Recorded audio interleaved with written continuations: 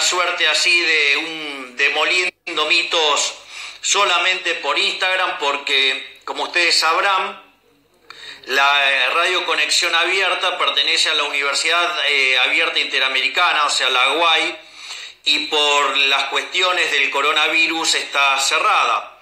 Por ende, hasta que no haya una autorización, no voy a poder hacer el programa desde Conexión Abierta y lo que vamos a hacer es ir siguiendo el programa, haciéndolo por esta vía que es lo que la tecnología nos permite y es algo que está funcionando bien y que por lo menos lo, estamos disfrutando todos porque eso es lo que me llega a partir de los comentarios de cada uno de ustedes que siguen estas entregas del Demoliendo Mitos.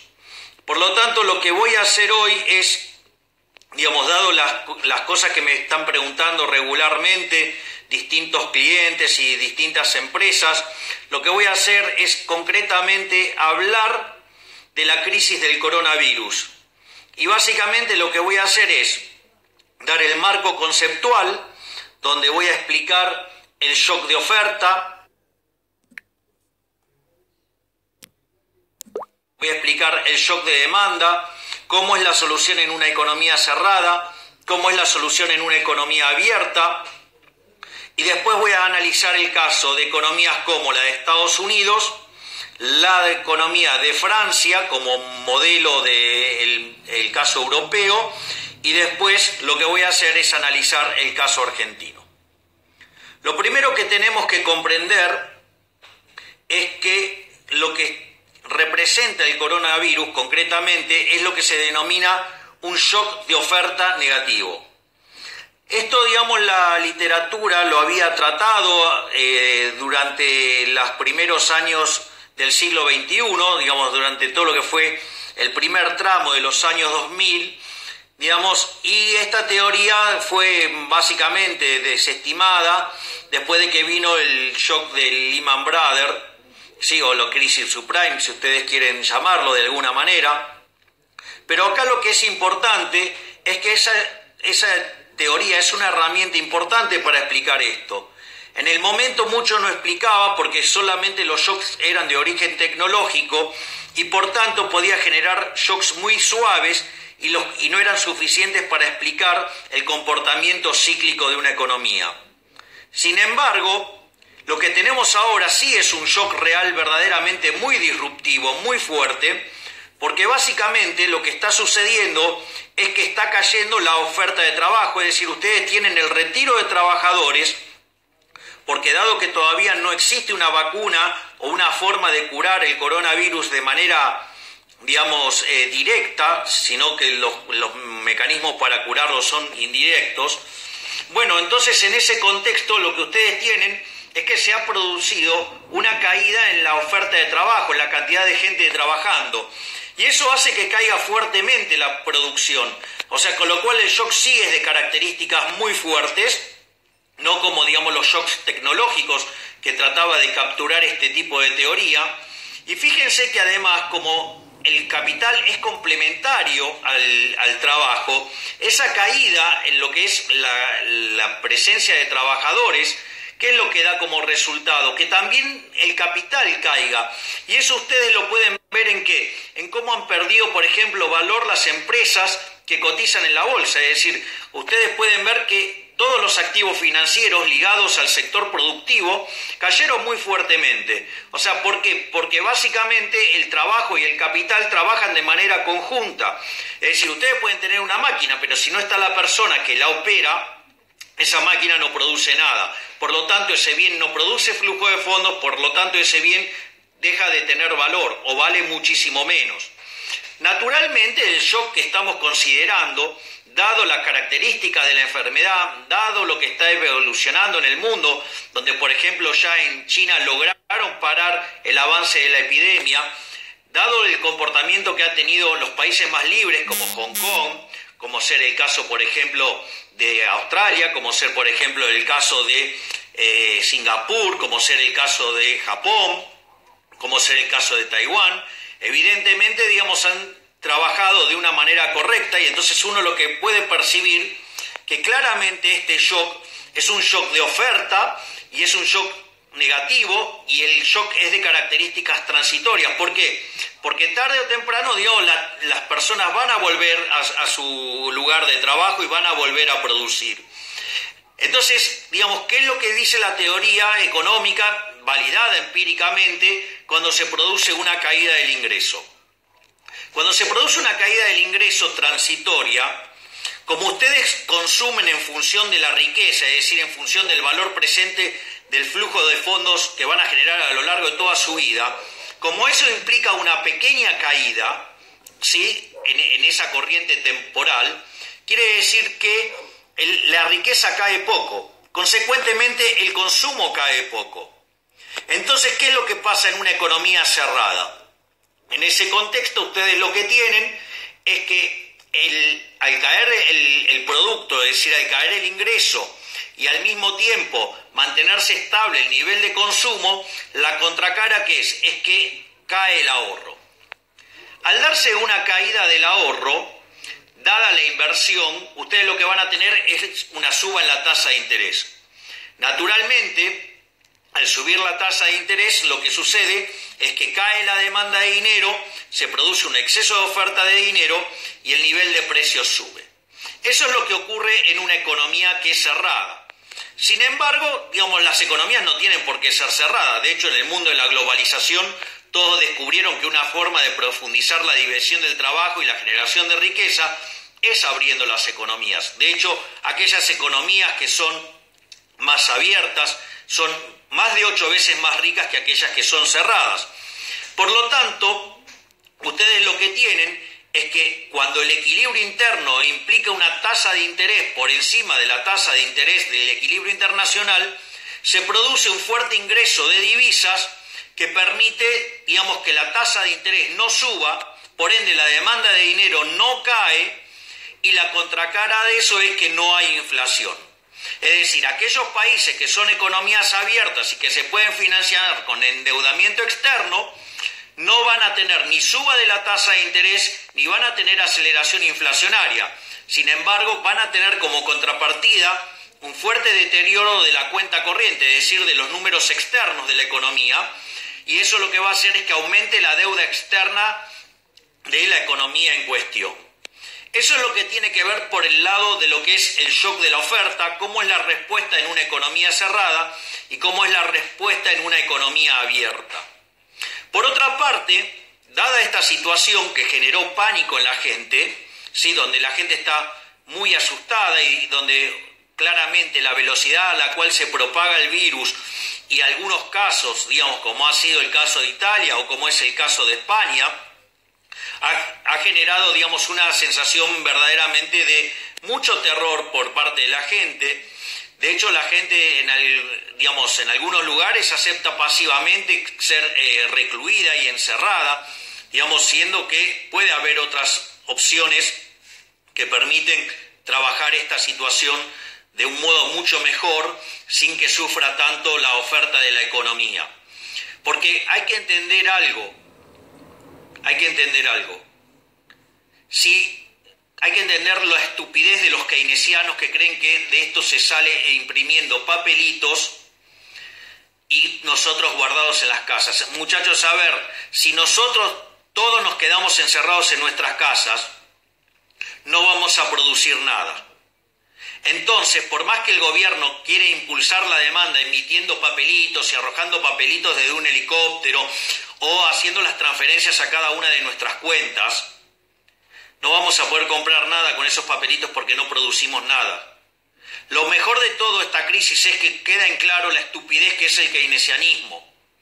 Es decir, que vengan a estimular el gasto público con, con emisión monetaria, mientras que nada produce, no se va a poder producir nada. Esto era, por ejemplo, lo que yo siempre le explicaba a Agustín Datelis en los debates, que siempre lo dejaba pintado al óleo, demostrando, dejándole en claro, digamos, su ignorancia en, este plano, que básicamente si ustedes piensan la economía de Robinson Crusoe, digamos, eh, Robinson Crusoe, si antes no labura trepándose a la palmera y bajándose los cocos para comer, no puede comer nada y se muere. Es decir, si el gobierno no busca una los gobiernos no buscan alternativas a que la gente esté encerrada en la casa y una forma de que podamos empezar a producir, no vamos a poder comer de papelitos pintados. ¿Ok? Ese es el primer punto. El segundo punto que también es muy interesante ¿Sí? A ver, si la producción es cero, por más papelitos que tenga, esos papelitos no van a poder comprar nada, su poder adquisitivo va a ser cero. ¿Saben qué significa eso? Que el nivel de precios es infinito. Si el nivel de precios es infinito, ustedes tienen implícita una hiperinflación. ¿Ok? Entonces ahora vamos a ver cómo se presenta en términos generales, y en especial en el caso de los países desarrollados, no en los casos de países como Argentina, cuando se da la situación del aumento de la aversión al riesgo, ¿qué es lo que hacen los agentes? Los agentes se desprenden de activos riesgosos, como las acciones, que ya explicamos por qué, digamos, la gente sale de, de las acciones. Básicamente tiene que ver con que, que al no haber trabajo que ponga en funcionamiento la máquina, bueno, lo que hace es que la producción de la máquina caiga lo que hace es que los flujos de fondos caigan y por ende el precio de las acciones cae. Entonces, ¿qué, hace ¿qué hacen los individuos? Se desprenden de activos que van a estar perdiendo valor en el corto plazo, por lo menos. Otros activos que también venden, ¿cuáles son? Y los bonos corporativos. ¿Por qué? Porque en realidad lo que está valiendo menos es el activo de las empresas, es decir, el capital de las empresas. Por eso es que se desprenden tanto de las acciones como de los bonos corporativos. También los agentes se desprenden de lo que se llama los bonos de países emergentes, llámese China, llámese, digamos, Brasil. Digo que aclaremos que ninguno de ellos tiene un riesgo país que supere los 500 puntos. El único país inadaptado en el mundo que tiene más, de, más riesgo es Argentina, que tiene 4.500 puntos básicos de riesgo promedio, y en la punta corta tiene 60.000 de riesgo país. ¿Ok? Y obviamente que también si se desprenden de los activos emergentes, imagínense de los bonos basura, por ejemplo los bonos argentinos. La contracara de, eso que, en general se le ha dado el nombre de flight to quality, o sea, vuelo a la calidad, o lo que se llama flight to safety, eh, o sea, vuelo a la seguridad, o flight to heaven, o sea, vuelo al paraíso, básicamente lo que dice es que los agentes se desprenden entonces de los activos riesgosos para acumular activos seguros. Concretamente, lo que busca acumular la gran mayoría del mundo, y en especial, por ejemplo, los estadounidenses, es dólares cash, es decir, quieren estar cash, y títulos del gobierno norteamericano.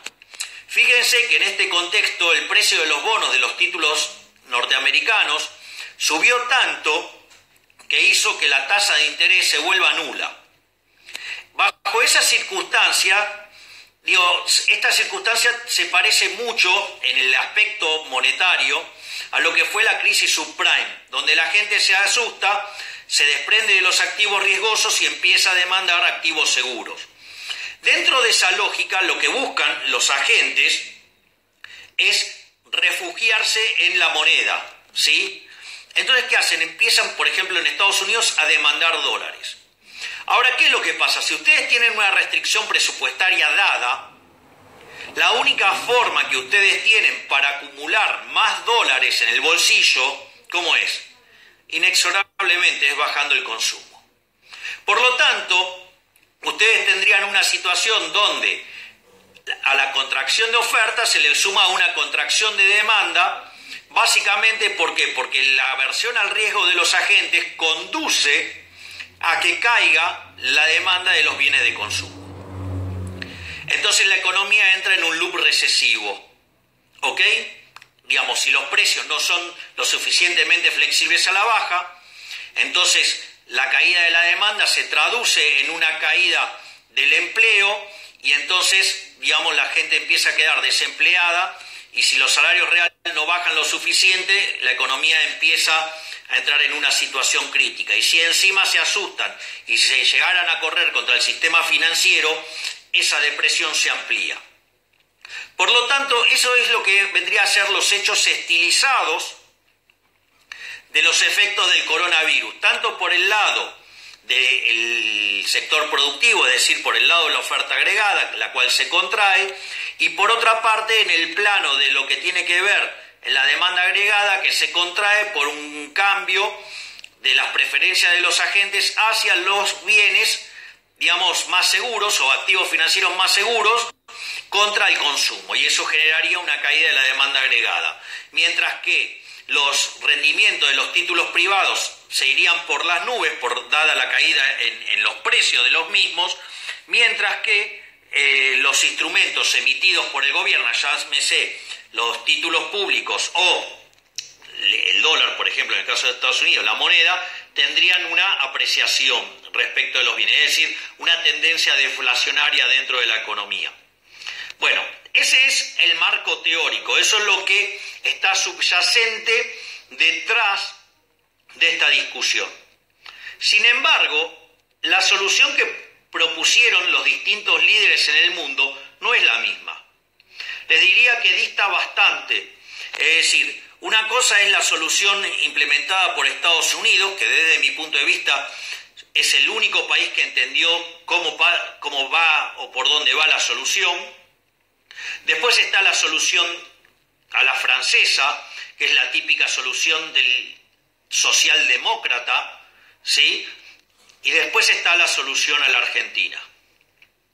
Entonces, lo que uno tiene que comprender es, primero, no es lo mismo hablar de una economía desarrollada, que tiene demanda de dinero, que tiene demanda de títulos públicos, ¿sí? Y que tiene capacidad de endeudarse, respecto a un caso como el argentino que no tiene capacidad de endeudamiento y además los agentes no demandan la, moneda, sino que además la repudia. Por lo tanto, en este contexto, lo que hay que comprender es entonces cómo fue la reacción de cada país, qué herramientas tienen disponibles, quién está actuando bien, quién está actuando mal y cuál es el resultado final. A los efectos de, esto yo decidí trabajar con tres casos. Uno es el caso de Estados Unidos, otro es el caso de Francia y otro es el caso de Argentina. Entonces veamos primero el caso de Estados Unidos.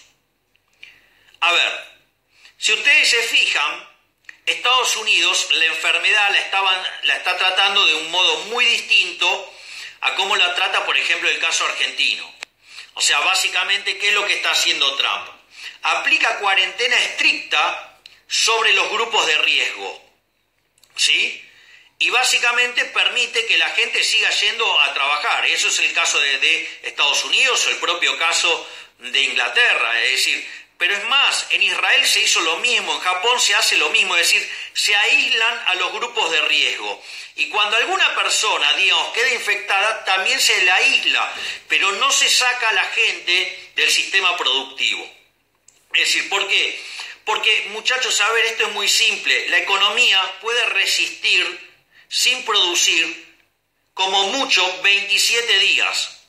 Pero hay sectores, por ejemplo, no sé, el sector restaurante, esto está hecho en un trabajo de Chip y Morgan, no puede resistir más de 15 días. Es más, por ejemplo, si ustedes tienen muchos trabajadores informales, a ver si les suena el país como forma de bife, no tienen forma de sobrevivir, no tienen forma de generar ingresos. ¿Ok? Y esto no se arregla con papelitos en el caso argentino. Entonces, ¿qué es lo que hace Estados Unidos? La primera medida que toma Donald Trump frente a esta situación, sabiendo que va a implicar una contracción de la oferta agregada, ¿qué hace? Le baja los impuestos a las empresas. Es decir, frente al shock negativo que implica la caída de la cantidad de trabajo, lo busca compensar bajándole los impuestos a las empresas para qué? Para que tengan incentivos a producir porque pueden ganar más dinero. Por lo tanto, si bien la velocidad de respuesta es más lenta que, la, que el retiro de la gente del mercado laboral, ¿sí? por lo menos eh, compensa parcialmente ese efecto. Es decir, no lo va a lograr compensar totalmente porque la velocidad de respuesta de la oferta no es tan rápida como la salida de los trabajadores del mercado laboral. Pero como no está proponiendo un aislamiento total de toda la población, entonces el efecto en actividad es mucho más leve. Ese es el primer punto. El segundo punto que es muy interesante y donde parece que algunos no han aprendido la lección de lo que fue la crisis subprime, es que cuando un banco central emite contrademanda de dinero no hay inflación. Porque justamente el poder adquisitivo del dinero se determina en el mercado de dinero. Cuando aumenta la demanda de dinero, lo que hace es subir el, poder adquisitivo del dinero, es decir, hay una deflación. Es decir, necesitan que todos los precios bajen. Y si los precios son rígidos a la baja, ustedes van a tener un problema enorme de desempleo y de caída de la producción brutal. Eso fue lo que pasó durante la Gran Depresión. Aquellos que han tenido la oportunidad de leer un libro maravilloso de Milton Friedman Schwartz, que se llama La historia monetaria de los Estados Unidos, en el capítulo 7 trata lo que se llamó, lo que ellos llaman, la gran contracción de, 19 a 1930, de 1929 a 1933, que es la historia de la Gran Depresión, donde básicamente lo que ustedes tienen, piensen en la fórmula de la teoría cuantitativa, que la cantidad de dinero M multiplicado por su velocidad de circulación, B es igual al Producto Bruto Nominal, que es el nivel de precios multiplicado por el PBI real. Básicamente, cuando ustedes aumentan la demanda de dinero, están sacando dinero de circulación, por lo tanto la velocidad de circulación cae. ¿Qué es lo que pasó durante la Gran Depresión? La gente, después del pánico de octubre del 29, se asustó, se desprendió de los activos riesgosos y en qué empezó a demandar? Empezó a demandar dinero. Como empezó a demandar dinero, la velocidad de circulación del dinero cayó 25%. Y la Reserva Federal, en lugar de aumentar la cantidad de dinero como para compensar esa caída de la velocidad y mantener el PBI nominal, en lugar de emitir, contrajo la cantidad de dinero, donde además generó un pánico bancario y generó un desastre. Y eso después se tradujo no solo en brutales caídas del PBI, sino que también cayó muy fuertemente el nivel de precios. Digo, por eso digo, la historia keynesiana no tiene sentido, pero recuerden algo, que Keynes era mucho más inteligente que los keynesianos. Es decir, el supuesto de los precios fijos, de la eh, preferencia por la liquidez total y absoluta y, los animal spirits en la inversión, en realidad, fueron usados y en abuso por parte de los keynesianos. Keynes no era un pelotudo, Keynes en realidad era un genio que escribió un libro que era una monstruosidad, ¿sí? que era pésimo, pero digamos, eh, eh, pero no era boludo. O sea, era un hijo de puta, ¿sí? Es decir, escribió un panfleto a beneplácito de políticos chorros, mesiánicos y corruptos, pero no era boludo. En cambio, lo que hicieron los keynesianos sí era de boludos, ¿sí? Fíjense que lo que tiene que ver con el caso de la crisis subprime es todavía muchísimo peor que lo que fue el caso de la Gran Depresión, porque durante la Gran Depresión, como recién les mencioné, la velocidad de circulación del dinero cayó 25%. Durante la crisis subprime, la velocidad de circulación cayó 75%. Para aquellos que quieran ver esto, hay unos documentos que emite el National Bureau of Economic Research, o sea, el NBER, ¿sí? hay una parte que se llama Monetary Trends, o sea, tendencias monetarias, y ustedes ahí tienen que buscar algo que se llama la regla de McCallum. Y ahí ustedes lo que van a poder ver es cómo cayó la velocidad de circulación del dinero, es decir, cayó 75%. ¿Qué quiere decir esto? Que el tamaño de la crisis que se estaba gestando durante la subprime fue tres veces más grande que lo que fue la Gran Depresión. Pero gracias a Dios en la Reserva Federal estaba la persona indicada en el momento indicado haciendo lo que tenía que hacer, que fue el caso de Benjamin Shalom Berlanque, es decir, el tipo que más sabe en el planeta Tierra sobre la Gran Depresión. Entonces, lo que hizo fue aplicar el manual de Milton Friedman. Ustedes dirán, no, bueno, pero vos lo estás diciendo en modo, digo, porque te cae simpático Friedman. No, Les cuento, en el año 2002 ya estaba en la Reserva Federal Bernanke y cuando Milton Friedman cumple 90 años, le hacen eh, un homenaje a él y a Ana Schwartz y, digamos, básicamente hay un discurso de Bernanke en ese evento que es muy importante porque ese capítulo 7 de la historia monetaria de los Estados Unidos ha sido tan relevante que se convirtió en un libro propiamente dicho. De hecho, el propio Bernanke dice que cuando él estudiaba en el MIT no sabía qué dedicarse hasta que leyó el capítulo 7 de la historia monetaria de los Estados Unidos, es decir, la gran contracción del 29 al 33. Entonces, ¿qué es lo que hizo Bernanke? En ese mismo discurso le reconoce a Friedman y a Schwartz que ellos estaban acertados y que si algo así pudiera llegar a ocurrir nuevamente, no volverían a cometer el error. Es decir, iban a emitir para qué? Para abastecer la demanda de dinero. Entonces, ¿cuál es el efecto? El efecto que, digamos, en ese momento, eh, para enfrentar la crisis subprime, implicó triplicar la cantidad de dinero y no generó inflación. Esto, digamos, que parece un chiste, pelotudos como Kichilov y todos sus acólitos de la keynesianera de Córdoba y Junín, Dios que lo forman en el paradigma keynesiano marxista, post-keynesiano, keynesianos tardías, llámenle como a ustedes se le dé la gana, o keynesianos de Cambridge, y que no lo entienden, ustedes pudieron, se pudo triplicar la cantidad de dinero porque estaba volando la, la demanda de dinero. Pero claro, eso ellos no lo entienden porque en el mercado de dinero determina la tasa de interés, cuando en el mercado de dinero hay que determinar el poder adquisitivo del dinero, es decir, el inverso del nivel de precios. En ese contexto, digamos, lo que hizo Bernanke fue evitar que el mundo entrara en una crisis muchísimo peor que lo que hubiera sido la Gran Depresión. ¿Y hoy qué está haciendo el gobierno de Estados Unidos? Está justamente emitiendo para abastecer la demanda de dinero. Entonces, digamos, es de estúpidos, literalmente, empezar a hablar del tema del riesgo inflacionario, cuando en realidad ustedes lo que están teniendo es una brutal suba en la demanda de dinero, que si no es, digamos, abastecida con emisión monetaria, se va a traducir en una fuerte caída del consumo y en una corrida bancaria.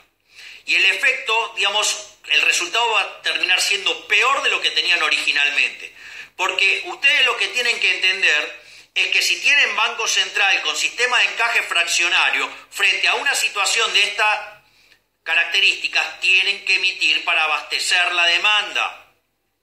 Sería un error ponerse a jugar en, en un plano teórico que no tiene consistencia con la realidad. Lo que yo siempre digo, hay una solución normativa, que es yo soy partidario de eliminar los bancos centrales, pero hay una solución positiva. Hoy existen bancos centrales, hoy existe banca con sistema de encaje fraccionario y ustedes no pueden resolver acorde a un modelo ideal que no existe en la realidad y tienen que resolver acorde al modelo que existe. ¿Para qué? Porque una vez operada la crisis, ahí poder actuar y hacer las reformas pertinentes para que estas cosas no vuelvan a pasar. ¿Ok? Entonces, ¿Qué es lo que hizo la Reserva Federal? Dado que el precio de los bonos estaba tan alto, la tasa de interés se hizo nula. Al hacerse nula la, tasa de interés, ¿qué es lo que hizo? Básicamente lo que hizo fue cotizar, fue ofrecer 500 mil millones de dólares a, a los agentes para ver cómo venía el tema de la demanda de dinero a la luz de todo lo que venía creciendo ¿sí? el precio de los títulos públicos, que son una proxy que permite ver cómo viene la demanda de dinero. En ese contexto, al cotizar, al, ofertar 500 mil millones de dólares, para que se den una idea, subastó en un día el equivalente del PBI argentino. En ese contexto, los agentes, o sea, los bancos, absorbieron todo el dinero, a punto tal que al otro día la Reserva Federal tuvo que volver a hacer otra subasta y ofrecer 200 mil millones de dólares más. Y aparte recordar que si fuera necesario se va a hacer los salvatajes pertinentes del sistema financiero en caso de que haya una corrida. Es decir, con lo cual emitió un montón para que todos tengan el dinero si lo quieren ir a buscar, pero que en caso de que hubiera corrida está dispuesto a seguir emitiendo. Es decir, está dispuesta la Reserva Federal a ofrecer todo el dinero que la gente quiera. Y esto tampoco es un problema, porque como básicamente tienen un esquema de, metas de inflación, ¿qué es lo que pasa? Cuando ustedes fijan la tasa de interés en esos esquemas, la cantidad de dinero viene determinada por la demanda de dinero. Entonces ustedes nunca emiten por encima de la demanda de dinero. Es decir, ustedes emiten justamente todo el dinero que el, público desea tener. Y cuando el público ya no lo quiere tener, ¿qué pasa? Empieza a absorber el dinero la Reserva Federal.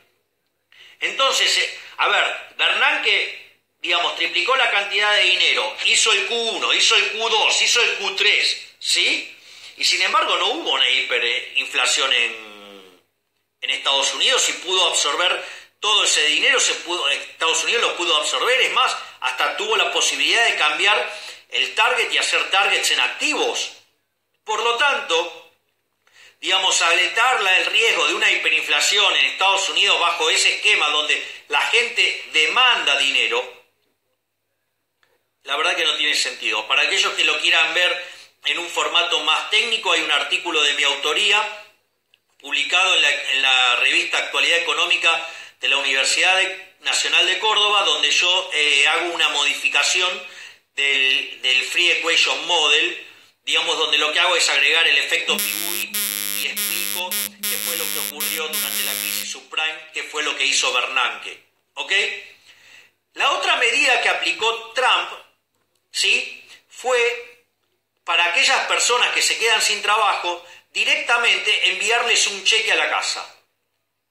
¿Por qué puede hacer eso Estados Unidos? Porque si ustedes le dan plata a la gente, la gente, digamos, va a poder comprar, o sea, si yo les doy a ustedes dólares, pueden salir a comprar cosas en todas partes del mundo y se los van a aceptar. Es eso que yo le digo del aumento del déficit de la cuenta corriente. Es decir, van a, ¿y por qué lo van a financiar? Y lo van a poder financiar porque la gente en el resto del mundo quiere tener dólares. Entonces, pero es muy interesante lo que hace Trump, porque supongo que yo les doy dos alternativas. La primera alternativa es darle a ustedes dinero y que ustedes lo gasten como se le dé la gana. Y la otra alternativa es que el gobierno decida gastar el dinero por ustedes.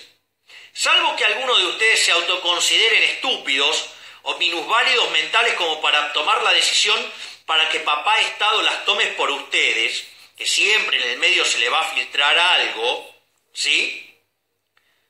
El sistema, digamos, que propone Trump respeta muchísimo más a los individuos.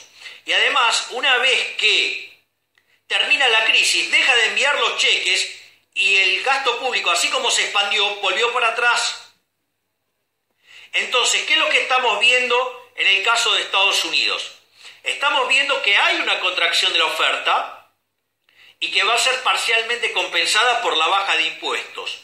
Y que además no va a ser tan grave la contracción porque, porque no está sacando toda la gente del mercado laboral, solamente está sacando a los grupos de riesgo, digamos, estrategia que funcionó muy bien en Japón, en Israel, en Taiwán, en Hong Kong, en, Corea del Sur. Además, para compensar el aumento de la demanda de dinero, emitió dinero, que es lo que, lo que señala el manual para evitar una deflación y un, y un loop recesivo dentro de la economía, donde empiecen a tomar lugar los ajustes de cantidades.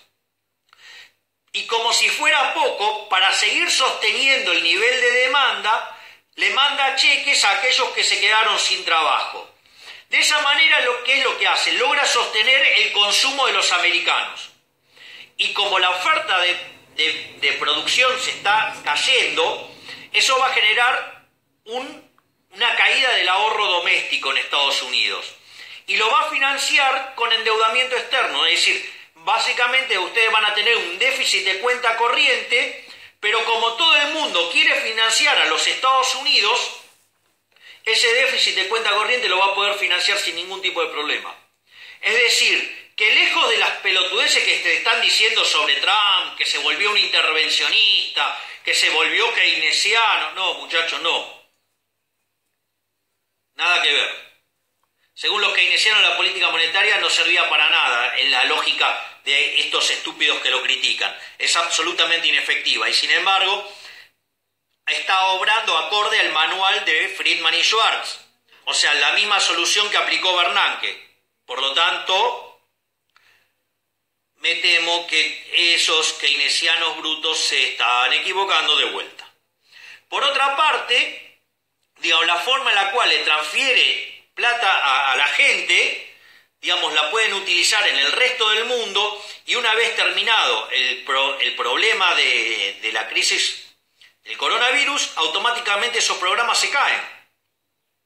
¿Por qué? Porque era lo que decía Friedman eh, junto a su mujer eh, Rose Director en el libro La tiranía del status quo, precisamente en el, en el artículo La tiranía del status quo, que básicamente es el triángulo de hierro del status quo, que son los políticos oportunistas, los que dan los programas de beneficencia y los beneficiarios de esos programas. Entonces, ¿qué es lo que pasa? Cuando usted, eh, por eso Friedman decía, no hay nada más permanente que un aumento transitorio del gasto público. Fíjense la habilidad de Trump, que lo hace de una manera que claramente ese aumento del gasto público es transitorio y además no le violenta las libertades individuales porque permite que los agentes gasten ese dinero en lo que lo quieren gastar. Por lo tanto, digamos, el que mejor está enfrentando esta situación por lejos, el que mejor la ha entendido sin lugar a dudas, es Donald Trump. Por otra parte, tenemos el caso de Francia. El caso de Francia no tiene banco central. Y todo lo que tiene que ver con el aumento de la demanda de dinero, ya sea la demanda de euros, lo va, a enfrentar ¿qué? El Banco Central Europeo. Y fíjense que en, en esa línea Christine Lagarde, que vio lo que fue la crisis desde el Fondo Monetario Internacional, cuando fue la crisis subprime, ¿qué fue lo primero que dijo? Vamos a abastecer con emisión monetaria, es decir, van a generar emisión monetaria para abastecer la demanda de dinero. Ahora miren qué interesante el caso de Francia, porque está teniendo un shock de oferta negativo. Sin embargo, no baja los impuestos. En lugar de bajar los impuestos como hace Trump, ¿qué es lo que hace? Aumenta el gasto público. Es decir, decide incrementar la demanda agregada, pero desde el lado de los burócratas, es decir, siempre al mejor estilo francés, bien socialista, aun cuando hay un supuesto liberal, que de liberal mucho no tiene, porque en realidad es un socialdemócrata, es un liberal, digamos, a la americana, digamos que para digamos, dentro de mis parámetros es un socialista. Es un socialista soft, ¿sí? Es como Obama, como Clinton, ¿sí? Claramente, bueno, no es un imbécil retrasado como Bernie Sanders, pero eh, claramente, ¿qué es lo que está haciendo el gobierno francés? Solo estímulo de la demanda. El estímulo fiscal está destinado a estimular la demanda.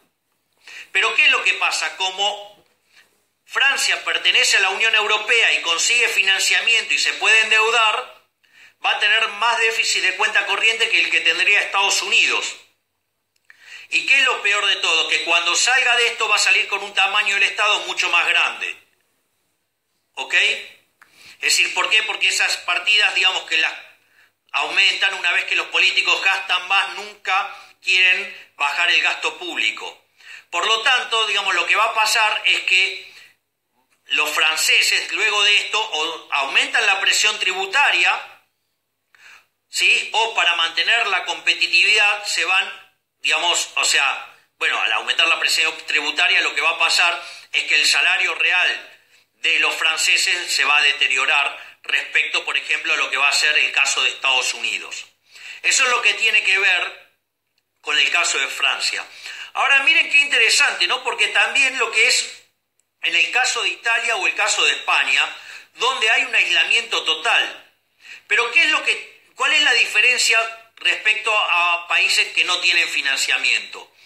Es que todo lo que caiga la producción en Italia o lo que caiga la producción en España, ya el Banco Central Europeo diseñó mecanismos para darle asistencia a dichos países. Es decir, que la caída de esa producción que van a tener va a poder ser financiada por endeudamiento que está dispuesto a brindarle el Banco Central Europeo.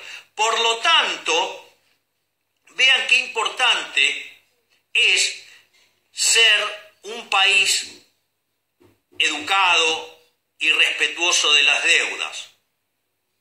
¿Por qué? Porque esto entonces nos lleva de cara al caso argentino.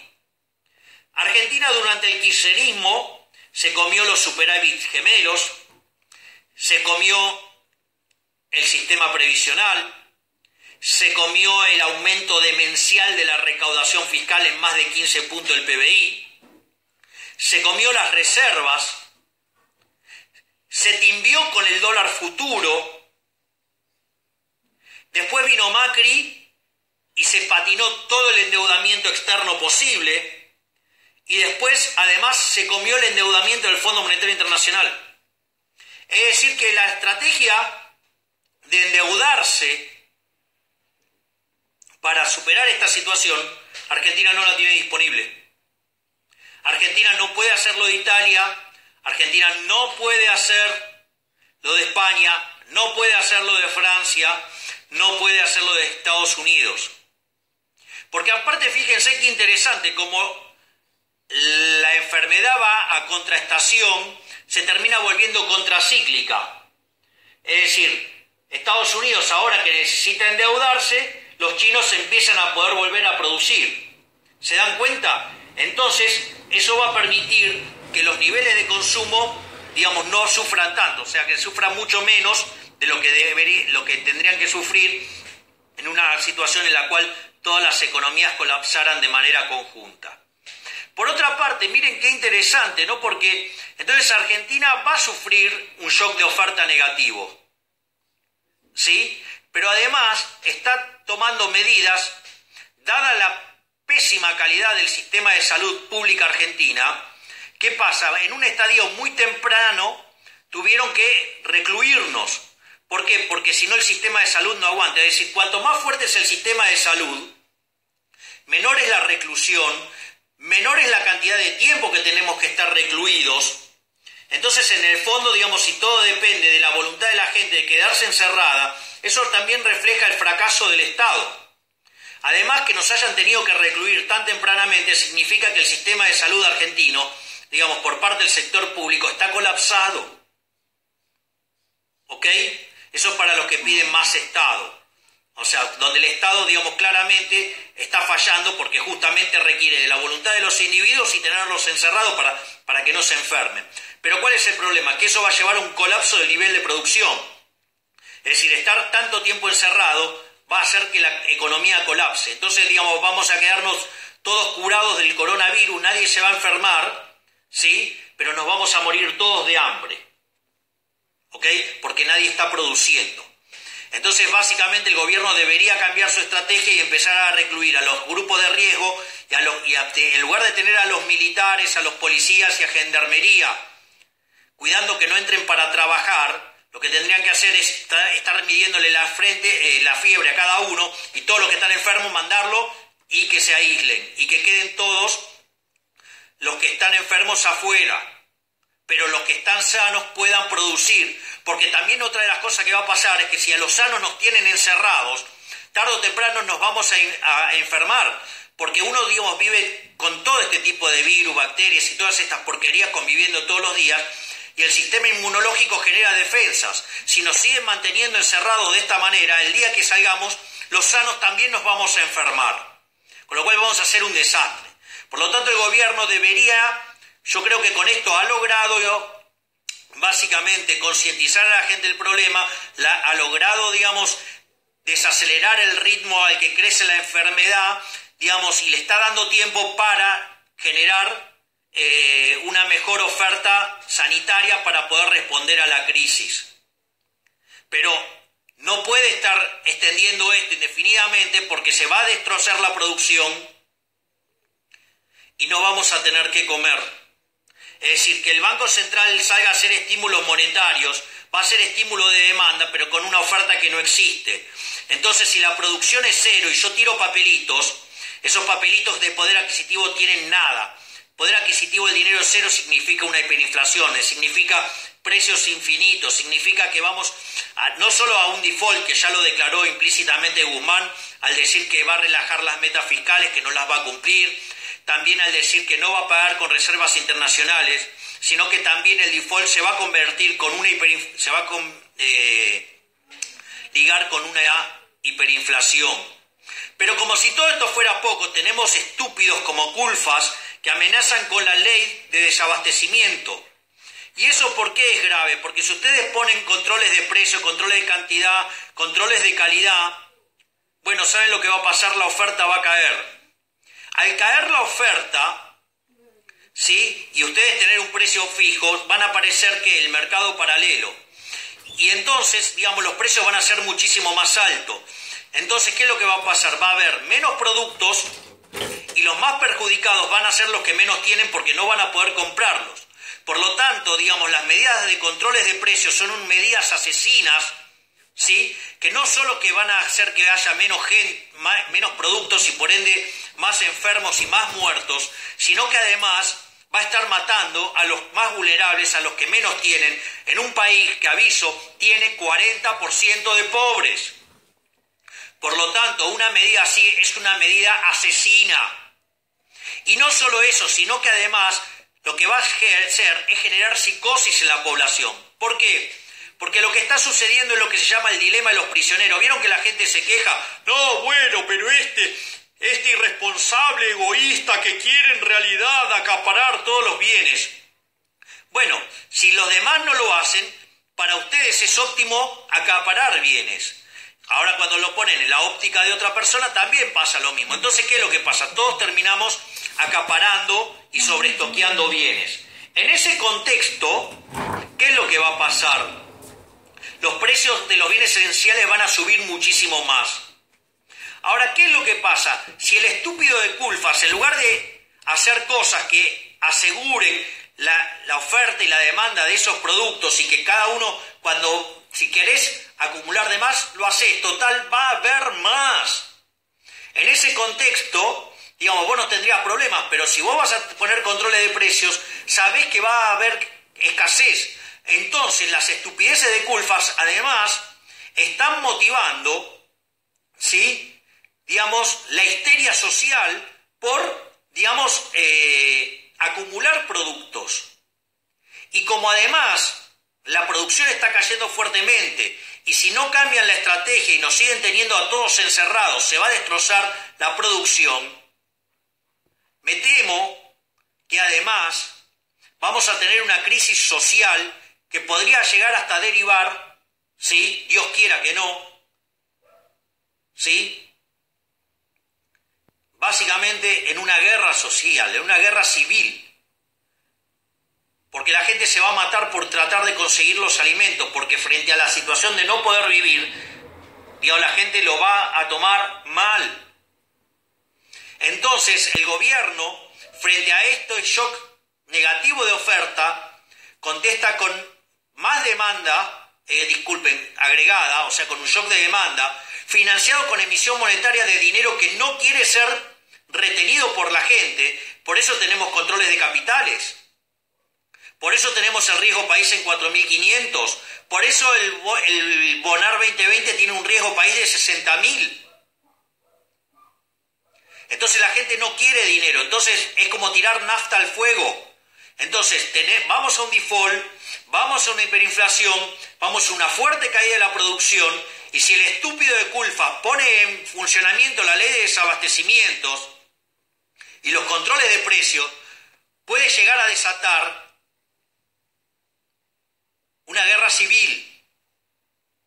Por lo tanto, estamos en una situación extremadamente delicada, extremadamente delicada, donde las personas que están llevando a cabo la economía, en lugar de colaborar en la solución, están tirando nafta al fuego. Es como llamar a Nerón para apagar un incendio. Es llamar a un piromaníaco, es llamar a un tipo que vaya con un lanzallamas.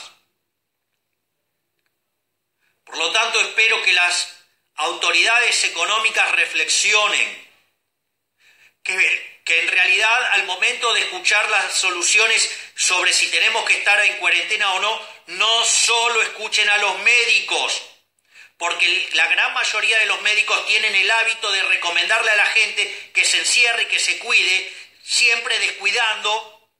Cualquiera que fue al médico lo sabe, le dice, no, usted tiene que dejar de, hacer esto. Le digo, sí, pero mire, yo, digamos, si no trabajo, no morfo.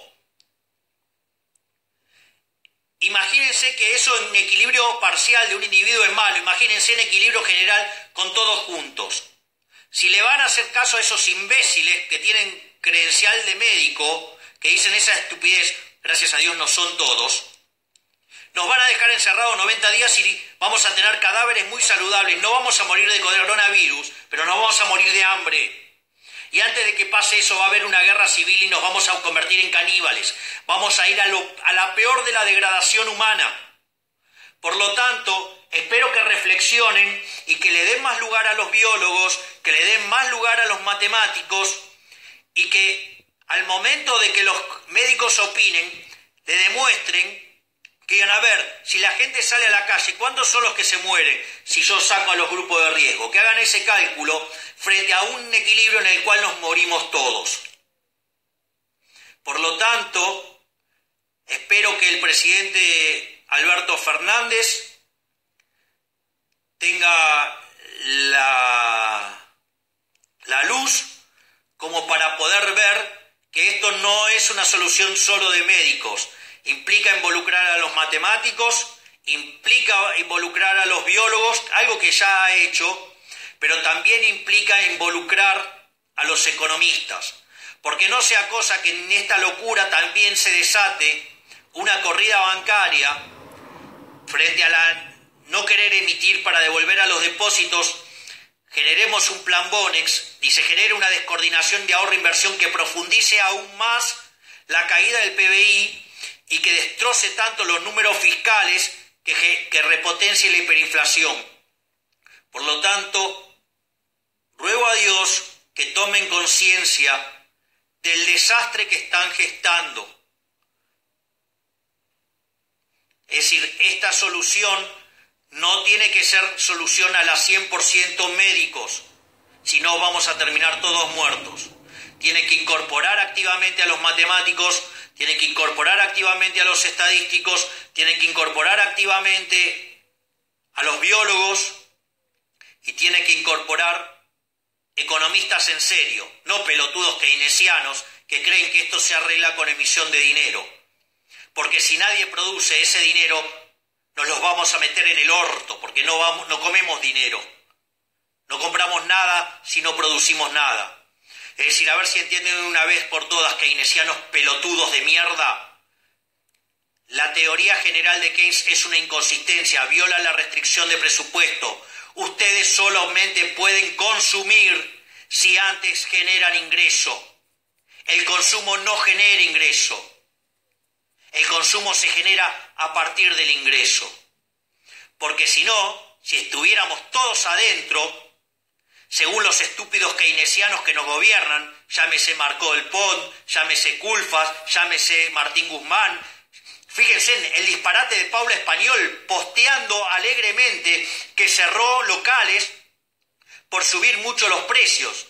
Es decir, que antes había pocos productos y caros. Después de la medida de Paula Español no hay ninguno. Es decir, ¿cuánto es el precio ahora? Infinito, porque no lo pueden comprar, ya no hay dinero que lo pueda comprar. ¿Se dan cuenta?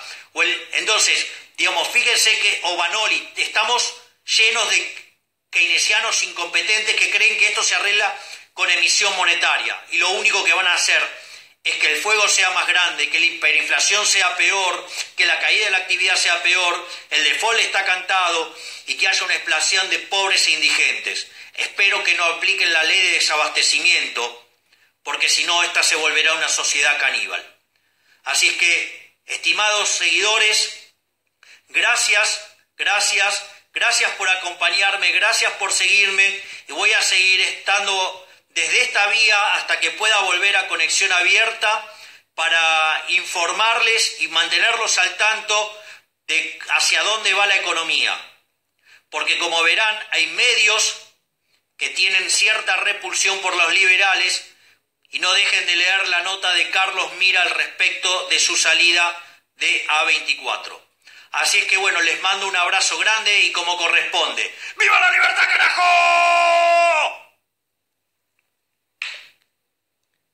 Adiós.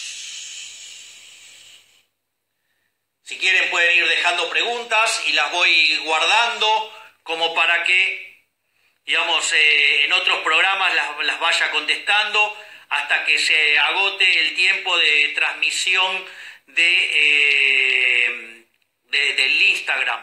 Así es que pueden ir dejándome preguntas, pueden eh, dejar reflexiones y en los conversatorios que voy a hacer con María Saldívar. Vamos a ir contestando cada una de estas inquietudes o también eh, nos pueden mandar mensajes por Twitter y nosotros vamos a buscar la forma de, contestar, porque cuando ustedes, por ejemplo, mandan preguntas muy largas, digamos, es muy difícil de leerlas en el, eh, acá, ¿no? Digamos, o sea, si mandan cosas de una frase así es fácil, pero eh, es muchísimo más complicado, digamos, cuando eh, uno se encuentra en la, en la situación de tener que, eh, como es que se dice, contestar en, en, el vivo. Así es que los voy despidiendo, vamos escuchando al gran Wolfgang Amadeus Mozart en esa maravilla que es la Sinfonía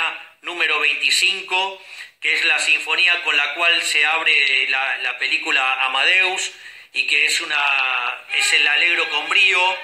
Y bueno, muchísimas gracias, agradezco infinitamente la compañía y luchemos por la libertad, porque parece que estos colectivistas hijos de puta se quieren cargar con ella. ¡Viva la libertad, carajo!